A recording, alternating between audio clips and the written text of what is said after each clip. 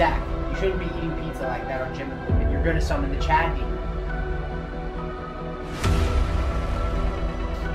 Man, I don't give a fuck. Man, I don't give a fuck. Fuck.